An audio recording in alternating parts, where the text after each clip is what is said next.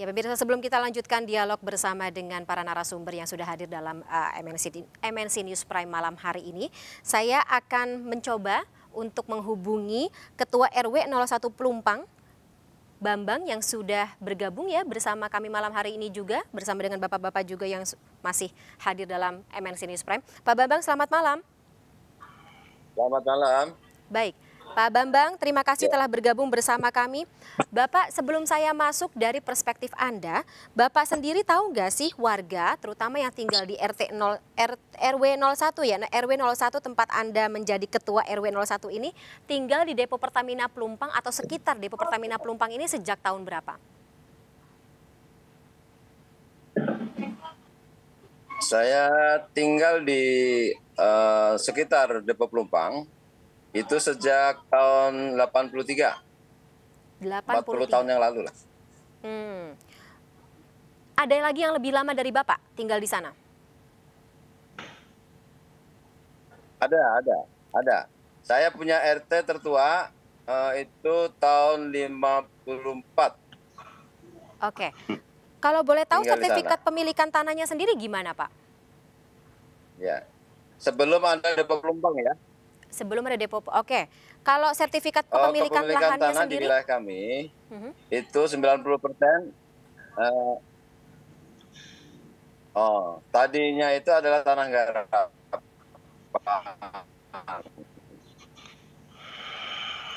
Pak Bambang. Uh, jadi program PTN itu sekarang proses sertifikat. Ya. Iya, suaranya kurang Halo? jelas Pak. Bisa dijelaskan lagi? Ya Mbak. Bisa dijelaskan lagi sertifikat kepemilikan tanahnya ini dari mana? Ya. Uh, Jakarta Utara. Dari Jakarta Utara diberikan ya. sama gubernur siapa? Uh, gubernur waktu itu Pak Jokowi. Oh, Pak Jokowi ketika masih menjabat. Ya, betul. Resmi. Tapi Bapak tahu nggak ya uh, kalau misalnya lokasi tempat tinggal Bapak, oke, okay, rumah Bapak dulu deh. Itu seberapa jauh ya. dari depo Pertamina? Uh, kalau dari rumah saya itu sekitar 150 meter. Hanya 150 meter. Saat ini rumah Bapak ya. kondisinya? Uh, kalau saya tidak kena, karena saya sudah masuk wilayah RT yang tidak kena uh, kebakaran. Oke. Okay. Kalau di RW tempat Bapak memimpin jadi ketua, ada berapa rumah yang terdampak?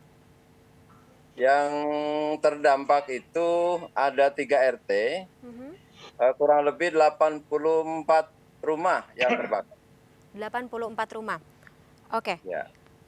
Bapak ada wacana akan direlokasi, relokasi rumah atau relokasi depo. Kalau Bapak sendiri mau direlokasi atau enggak? Kalau saya sendiri, uh, bersama warga itu uh, mengembalikan kepada keputusan dari pemerintah. Karena uh, depo Pertamina ini sudah dua kali uh, ledakan tahun 2009 dan uh, 2023 saat ini. Artinya uh, dengan kejadian itu kami berharap uh, dari pemerintah punya ketegasan untuk mengambil langkah yang terbaik untuk kepentingan keamanan warga dan keamanan dari aset Depo Pelumpang itu sendiri. Oke, jadi saya garis bawahi lagi, Pak Bambang kalau direlokasi ke tempat lain yang lebih aman tidak menolak ya? Ya intinya kalau kami tidak tidak menolak. Oke, baik. Pak Bambang terima kasih atas waktunya bersama kami dalam MNC News Prime malam hari ini. Saya selalu ya Bapak ya, saya harap akan ada keputusan yang tentunya baik, tidak memberatkan warga ke depannya. Ya. Terima kasih sekali lagi Pak Bambang. Selamat malam. Baik. Baik. Kita kembali ke para narasumber MNC News Prime malam hari ini. Ada pengamat tata kota Yayat Supriyatna, kemudian anggota DPRD DKI Jakarta di studio, Pak Bang Gilbert Simanjuntak, serta politisi Nasdem, uh, Bang Bestari Bagus. Bang Bestari saya akan tanya kepada Anda karena tadi warga yang sudah kita telepon barusan tidak menolak untuk direlokasi.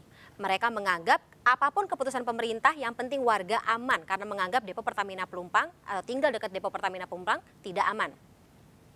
Yang menolak relokasi juga kan nggak ada atau depo gitu. Tapi jangan kemudian dibatasi bahwa ini harus depo. Jangan begitu. Ajak masyarakat itu bicara karena dia anak bangsa. Gitu. Apa yang dilakukan Pak Jokowi tadi yang disebut masyarakat, kami dukung, nggak nggak akan kami protes itu, gitu.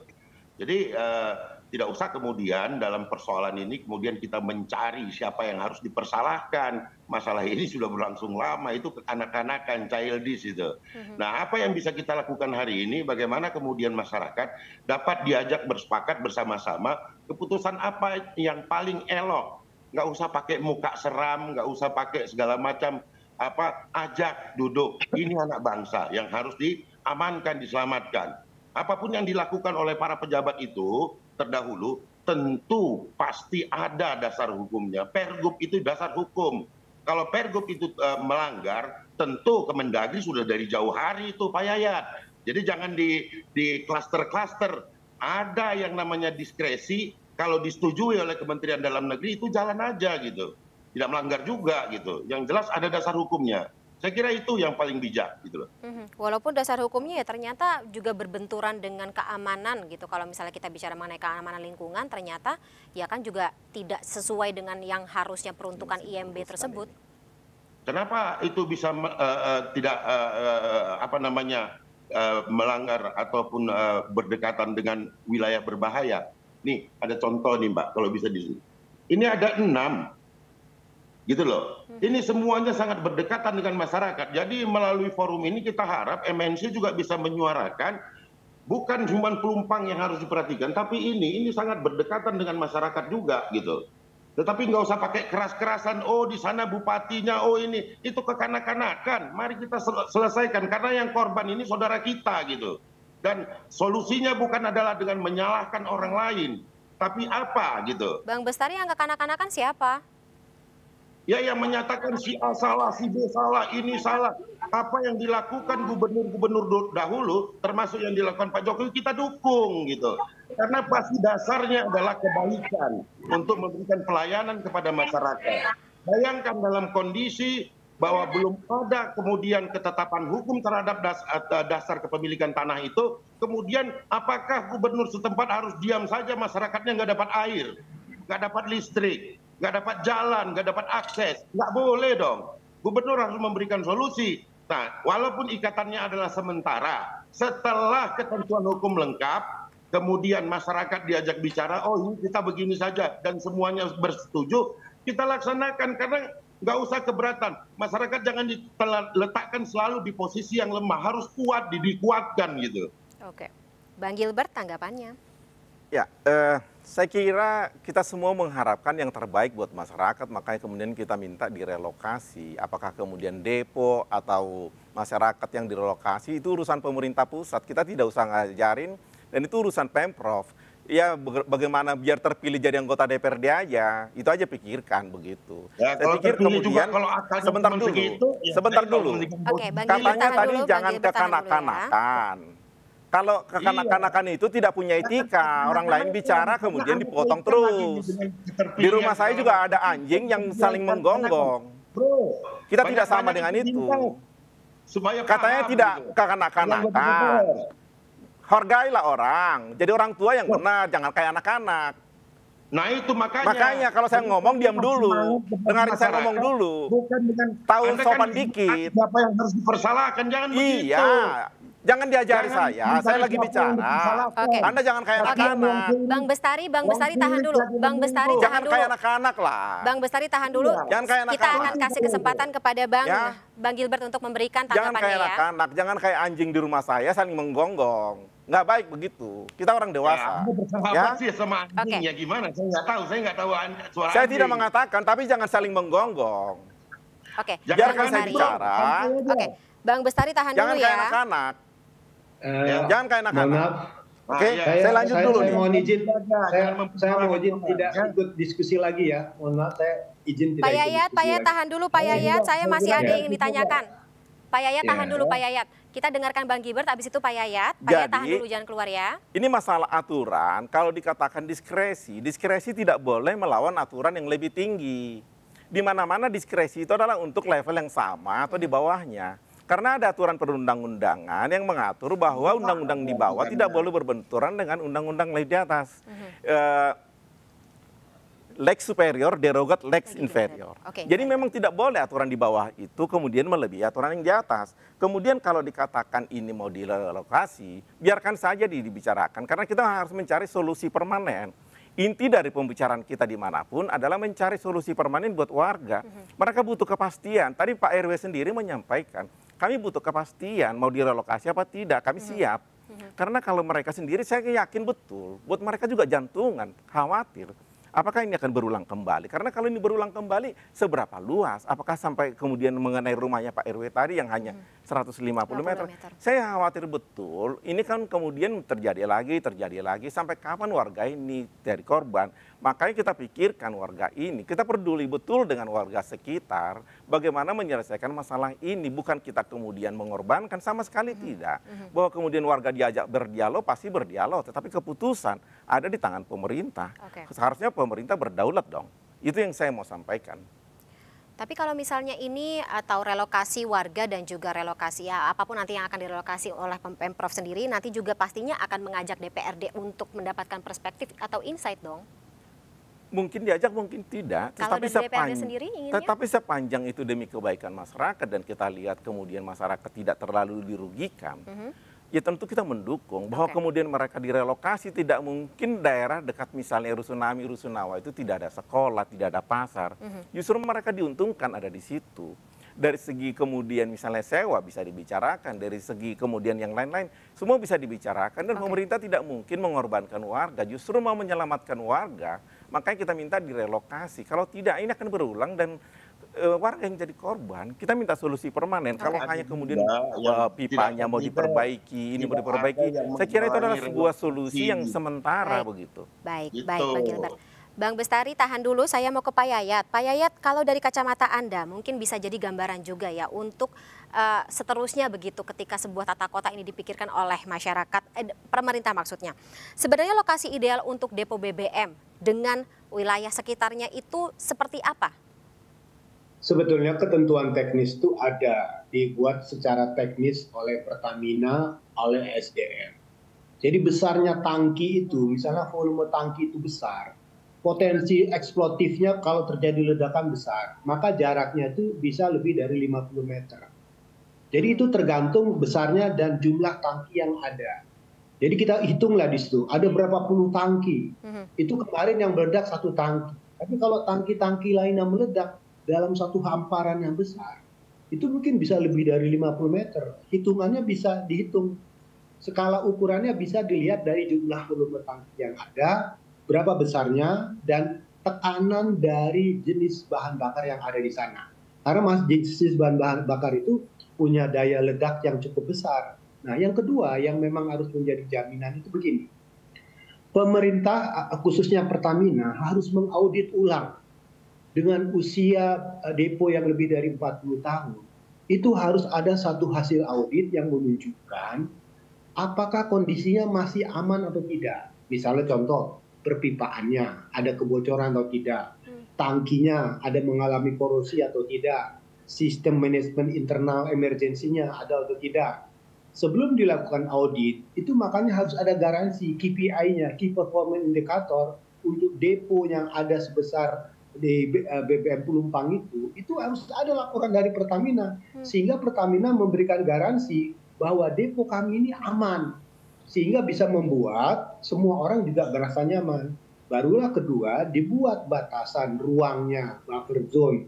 Karena begini, di dalam perencanaan tata ruang itu, jika lokasi permukiman berdekatan dengan lokasi yang potensi bencananya besar, itu harus ada jarak. Contohnya misalnya, jadi Bang Bestari juga ngasih contoh, banyak sekali depo-depo di tempat lainnya. Itu juga menjadi pembelajaran. Hmm. Kalau revitalisasi yang dilakukan di Lupak ini sukses, itu menjadi kasus untuk menyelesaikan di tempat lain. Karena bisa menjadi pembelajaran model apa yang paling bagus yang bisa kita lakukan untuk menata kawasan strategis dan vital dari tekanan penduduk. Ingat tahun 74, tahun 72, Pelumpang itu masih di pinggiran. Sekarang dengan makin berkembangnya Jakarta, Pelumpang itu sudah di tengah kota. Jadi otomatis penduduk itu makin lama makin mendesak apalagi dengan kondisi Jakarta yang dalam radius satu kilometer itu bisa belasan ribu orang di dalamnya. Nah, kalau menurut saya ada bagusnya satu ya kita minta keputusan pemerintah pusat tahun 2009 ketika terjadi ledakan pun yang mengambil inisiatif pemerintah pusat yeah. untuk melakukan penataan ulang sekarang pemerintah pusat juga yang ambil keputusannya. Tapi pada tahun 2009 ketika putusan itu ditetapkan, agensi utamanya, aktor utamanya itu tidak ada untuk menggerakkan itu apakah dari Pertamina atau siapanya karena masih ada persoalan permasalahan tanahnya. Jadi tidak mungkinlah kalau misalnya Pertamina uh, belum nyaman dengan tanah yang ada di luar itu dia mengeluarkan biaya. Demikian juga dengan DKI. Itu menjadi aset pemerintah DKI atau tidak, tidak mungkin APBD mengeluarkannya. Jadi secara konsep itu sudah ada. Tinggal bagaimana konsep di 2009 kita berperbaiki di tahun 2023 ini. Mana yang kita tempatkan. Dan kita kan bisa belajar dari kasus Kampung Pulau. Hmm. Mereka berada di wilayah banjir. Kemudian DKI punya aset. Asetnya kantor Sudin Jakarta Timur, bekas PU-nya. Dibongkar, jadi rumah susun aset DKI banyak. Tinggal bagaimana mungkin kontribusi yang bisa diberikan. Nah, di sinilah tinggal bagaimana nanti ketika buffer zone-nya jadi, kawasannya ditata dan menjadi contoh model, dilengkapi fasilitas pendidikan, kesehatan, hmm. transportasi, semua orang pasti akan tertarik. Dan pemerintah punya uang di dalamnya. Jadi dengan model itu, kita bisa memberikan amanat kepada badan usaha untuk menata ulang. Belajar dari mana? Dari PT KAI pt kai itu bagaimana mereka mendapat kepres untuk mulai menata dari perencanaan, pembebasan, penertiban, pembongkaran, sampai pembangunan, sampai pembiayaan. Dan satu-satunya badan usaha yang berhasil mengambil kembali aset-aset yang diambil orang lain hanya PT KAI. Nah, ini kan bisa jadi model. Apakah semua badan usaha yang misalnya contoh angkasa pura yang di sekitarnya itu banyak perumahan kiri kanannya hmm. bisa nggak dikasih mandat untuk uh, diberikan tugas menertibkan kawasan itu jadi kalau tidak ada mandat yang diberikan tidak akan bisa tereksekusi jadi dalam hal ini tinggal bagaimana dalam hal ini kepres atau perpres yang dikeluarkan oleh presiden yang menetapkan siapa penanggung jawab utamanya, siapa yang membantu apa, anggarannya dari mana. Yang tahun 2009 rencananya ada, tapi anggaran yang tidak ada. Itu masalahnya. Maka belajar dari itulah di 2023 ini pemerintah belajar dari kasus-kasus yang sama. Nanti enam kasus yang dikasihkan oleh Bang Barus tadi, kita juga minta anggarannya ditetapkan bagaimana penataannya. Karena bagaimanapun menata masyarakat itu perlu anggaran. Itu yang paling penting dari semua rencana. Karena terus terang aja, Spatial plan itu adalah dokumen rencana. Yang paling penting adalah development plan-nya. Hmm. Dari mana sumber pembiayaannya? Kalau misalnya saya mengatakan, kalau ada orang Minang mengatakan no PT, no activity, no PT, no motivasi, no PT, no prestasi, no PT, lama-lama mati. Semuanya, kan? semuanya harus PT nah, memang ya Pak ya. Nah, anggaran itu menjadi kekuatan besar. Kami, saya udah bertahun-tahun menyusun rencana, tapi no PT ya no activity Nah sekarang pertanyaannya bagaimana rencana relokasi itu PT-nya dari mana? Nah. Bisa nanti dari APBD DKI, dari Menterian BUMN, kontribusi CSR-nya Pertamina, kontribusinya dari BUMN, dikeroyok rame-rame. Jadi kolaborasi itu menjadi ya. penting di dalamnya. Saya kira itu penting dan menjadi model. Nanti di tempat-tempat lain kita buat di Balongan dibuat, hmm. di Cepu dibuat, di uh, di Balikpapan dibuat, di tempat-tempat lain dibuat. Itu paling bagus. Eh, BUMN-nya aman, suplainya aman, masyarakatnya juga aman. Kita mengajarkan bagaimana cara yang paling bagus untuk menata permukiman, bukan memperdebatkan. Kalau kita biarkan mereka tetap tinggal di situ, semakin lama semakin kumuh, kepadatannya tinggi, hmm kesehatannya berkurang. Jadi sekali lagi saya mengatakan keberanian kita adalah bagaimana rencana yang sudah ada, ditetapkan keputusannya melalui Kepres atau Pepres, ditetapkannya anggarannya, diberikan target waktu secepat-cepatnya. Okay. Itu clear, aman semuanya. Oke. Okay terlepas dari memang sebelumnya ada permasalahan sengketa lahan gitu. Makanya juga Pertamina ya, kata Pak gini, tadi tidak sengketa bisa... lahan pun tinggal nanti keputusan pengadilannya. Ah. Sebetulnya kalau sudah ada keputusan pengadilannya, dengan buku itu itu ada. Ini kan selama ini keputusan pengadilannya itu belum ditetapkan. Bagaimanapun di mana-mana kalau ada sengketa pertanahan dibawa ke pengadilan, ada keputusan pengadilan baru bisa dikeluarkan sertifikat yang sah. Di mana-mana BPN itu tidak pernah berani mengeluarkan sertifikat di atas tanah sengketa. Demikian, terima kasih. Oke, nah Pak Yayat kan kalau dari Pemprov DKI Jakarta sendiri saat ini mengatakan ya menunggu keputusan dari pemerintah pusat tadi ngeluarin iya. Kepres yeah. atau Perpres seperti itu. Yeah tapi katanya harus ada keputusan pengadilan juga kan gitu untuk menentukan lahannya yeah. ya supaya kita menghindari apa yang terjadi di tahun 2009 kemudian juga tahun-tahun yeah. pemerintahan gubernur sebelumnya. Ini kira-kira opsi yang paling viable yang bisa dilakukan uh. dalam jangka waktu dekat dan juga menengah apa Pak Yayat? Pertama begini, kita harus menyelamatkan warga yang menjadi korban. Pertama satu, belajar dari pasar gembrong. Pasar gembrong itu kan terbakar habis. Ke mana penduduknya? Penduduknya ditempatkan ke rumah susun dekat Pasar Gembrong. Hmm. Kemudian DKI dapat bantuan dana dari Basnas. Nah, dana Basnas itu dipakai untuk memperbaiki rumah yang ada. Hmm. Jadi selama masa pembangunan yang enam bulan itu di Pasar Gembrong waktu kemarin kebakaran, mereka dipindahkan sampai ke sana. Nah sekarang untuk yang menjadi korban sekarang itu kan harus dicarikan tempat tinggal sementara. Di mana? Di rumah susun bisa, dicarikan rumah kontrakan bisa, tinggal di familinya bisa, ditempatkan sementara bisa. Tetapkan berapa lama mereka, enam bulan atau setahun. Selama enam bulan sampai satu tahun, mereka dipulihkan ekonominya, dipulihkan rasa percaya dirinya, sambil dibangunkan tempatnya. Nah, sekarang pertanyaannya, di mana lokasinya? Tinggal ditetapkan saja. Asetnya bisa dari aset Pertamina, bisa aset dari Pemda, aset dari kementerian, atau aset dari siapa pun. Karena itu kan langkah yang paling cepat Kemudian ditata kawasannya, fasilitas dilengkapi. Kita belajar dari rumah susun eh, di Marunda. Tadinya itu jauh Tapi sekarang ada shuttle bus dari Transjakarta. Ada sekolah di sana. Semua dilengkapi. Kalau udah begitu, siapa yang nggak tertarik? Jadi harus ada kata prinsip. Kau ikut aku, kau bahagia. Gitu kan, begitu kan? Jadi cara yang paling bagus itu adalah siapa yang menjadi aktor utama yang akan ditunjuk. Karena biasanya pemerintah itu kalau sudah ditunjuk penanggung jawabnya utama, targetnya berapa lama, biaya dari mana, kapan selesainya, insya Allah bisa diselesaikan. Tinggal bagaimana kemauan politiknya dalam waktu yang kita karena bukan apa-apa. Sebentar lagi kan nanti orang sibuk pilpres dan sebagainya itu udah repot. Tapi yang paling penting menurut saya mari kita belajar dari kasus ini supaya kita bisa menata di tempat-tempat lain, hmm. mau bandara, PLN, PN gas atau uh, pelabuhan dan sebagainya. Karena bukan apa-apa, masyarakat butuh tempat tinggal. Ya. Harga tanah di Jakarta itu mahalnya luar biasa.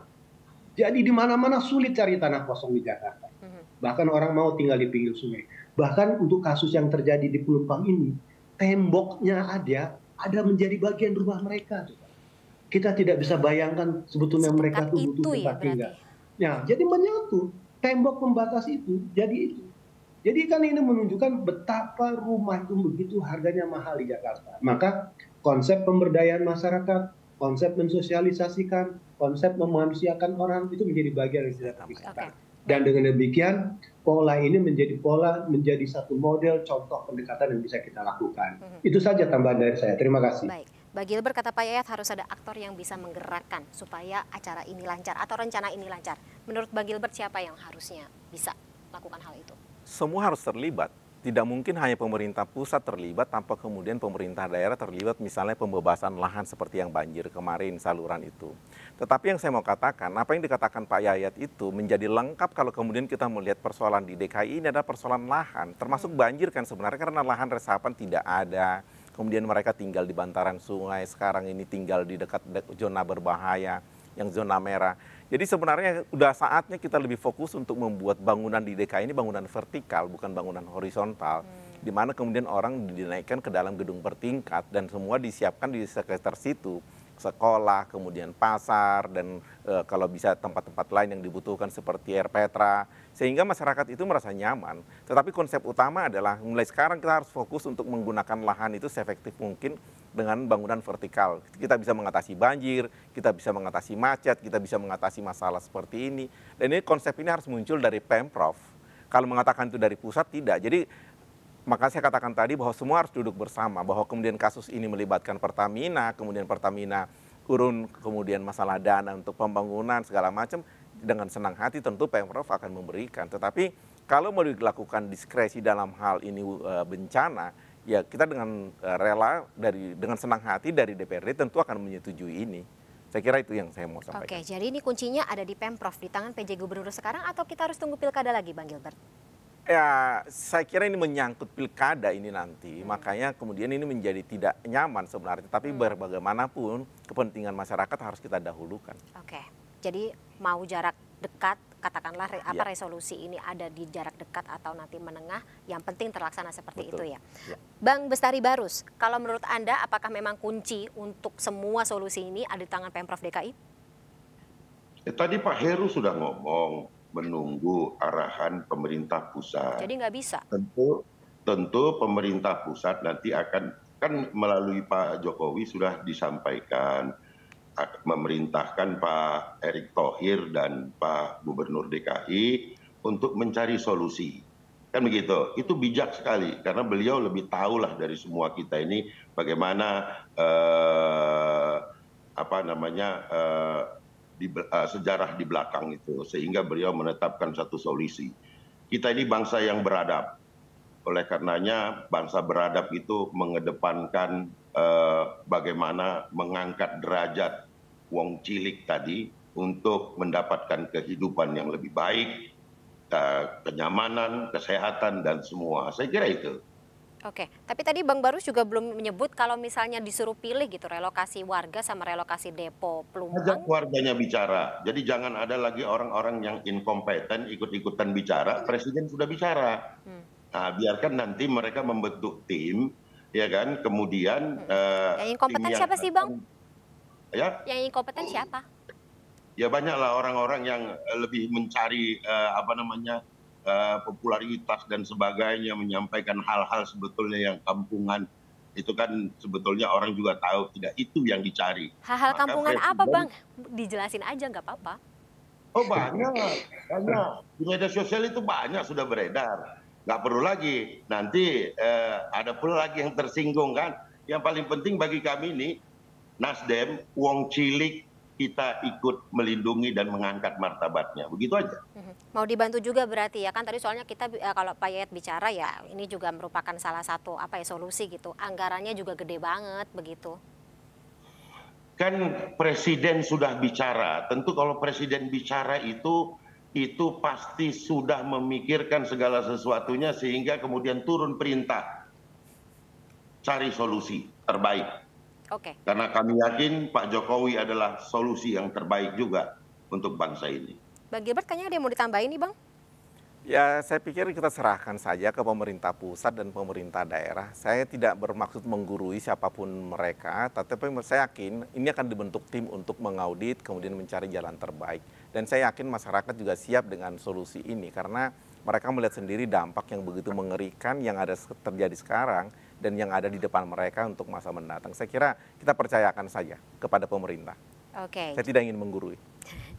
Jadi perlu nggak IMB-nya tetap di apa ya ya harus dibenerin sih karena mau nggak mau kan lokasi seperti ini membutuhkan izin mendirikan bangunan. Ya kalau memang ada yang merasa itu betul IMB itu ya suruh aja sekarang lagi mereka mengeluarkan IMB gubernur sekarang mereka mengeluarkan nah, statement yang mendukung suruh, yang mendukung IMB itu dikeluarkan suruh sekarang mengeluarkan statement agar IMB juga dikeluarkan gitu ya, loh. Biar semuanya. Pak Heru. Iya. Ya kalau mau nyuruh Pak Heru suruh aja ya pas kan ada memang tupoksi ya DPRD DKI Jakarta juga. Kita tidak menganjurkan itu, justru kita tidak menganjurkan. Tapi ada yang membela mengatakan itu betul. Makanya kalau betul, anjurkan ke gubernur biar dikeluarkan lagi MB. Kan, mungkin begitu bahasanya yang halus lah. Inilah kalau gaulnya salah ini bro ini. Oke, oke, oke. Uh, yang jelas sekarang berarti kalau misalnya kita bicara mengenai kuncinya, mungkin ada di tangan eh, pemerintah pusat dan juga Pemprov DKI Jakarta. Baik, Bapak-Bapak, kita sudahi dulu ya dialog kita pada malam hari ini. Semoga ada solusi yang tadi kalau katanya Pak Yayat ini harus viable dan dilaksanakan mau itu jangka uh, dekat, mau jangka menengah yang penting ya Bang Gilbert ya dan juga Bang Besari terlaksana semuanya karena demi uh, kehidupan kemaslahatan bersama semuanya. Terima kasih atas waktunya Bang Bestari, uh, Pak Yayat Supriyatna dan juga Bang Gilbert Simanjuntak atas uh, waktunya bersama kami di MNC News Prime malam hari ini. Kita kembali lagi, uh, kita akan ketemu lagi di lain kesempatan ya. Sehat-sehat selalu. Terima kasih, selamat malam.